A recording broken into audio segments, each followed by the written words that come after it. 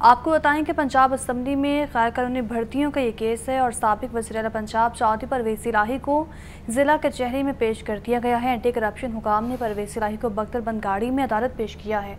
चौधरी परवेज इलाही की जिसमानी रिमांड की इस्तः की जाएगी। अपडेट कर रहे हैं आपको, पंजाब असम्बली में गैर कानूनी भर्तियों का ये केस है। सबक वजी पंजाब चौधरी परवेज इलाही को ज़िला कचहरी में पेश कर दिया गया है। एंटी करप्शन हुकाम ने परवेज इलाही को बख्तरबंद गाड़ी में अदालत पेश किया और चौधरी परवेज इलाही की जिसमानी रिमांड की इस्तः भी की जाएगी।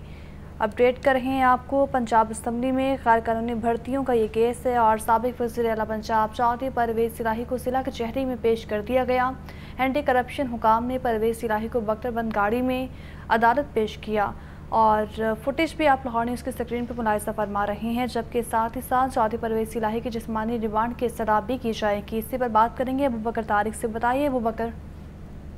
जी बिल्कुल जिला कचहरी में पंजाब असम्बली में भर्तियों में बदनवानी का ये मुकदमा है जिसमें सबक वजी पंजाब चौधरी परवेज लाई के जिसमानी रिमांड की दरख्वास्त पर समाज शुरू हो चुकी है। एंटी करप्शन ने परवेज लाई का चौदह रोज का जिसमानी रिमांड मांगा है अदालत से जबकि वकील एंटी करप्शन अदालत को ये बताया है कि पंजाब असम्बली में मेरिट पर आने वाले उम्मीदवारों को भर्ती नहीं किया गया और ओटीएस के टेस्ट के मुताबिक पास करने वाले उम्मीदवारों को नज़रअंदाज किया गया जबकि परवेज लाई इस मामले में अहम किरदार हैं और परवेज लाई जो है वो इस जुर्म के मरकजी किरदार हैं। हाँ, और हमने इन परवेज लाई से तफ्तीश करनी है और इससे मुतलिक जो है वो चीज़ें बरामद भी की जानी है।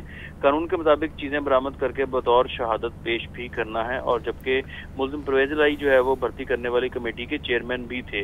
जुडिशल मजिस्ट्रेट गुलाम मरतदा वेर के एंटी करप्शन की दरख्वास्त पर समात कर रहे हैं और अभी तक जो है वो वकील एंटी करप्शन के दलाल चल रहे हैं अदालत में। जी। ठीक है, बहुत शुक्रिया अबू